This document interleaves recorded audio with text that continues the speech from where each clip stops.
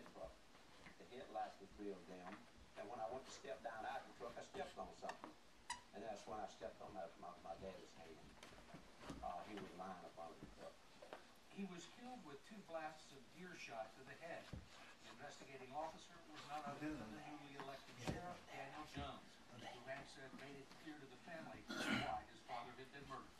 He told my mom that if Lewis had just said his house, that he wouldn't be laying down on the line. He wouldn't be there. You think Sheriff Jones did? Yes, indeed. Means. If he didn't do it, he was the entrepreneur of it. Jones told the newspapers he was unable to find a single clue. How would you characterize the investigation that Sheriff Jones conducted? He did not develop any fingerprints, any physical evidence, and he never developed any suspects.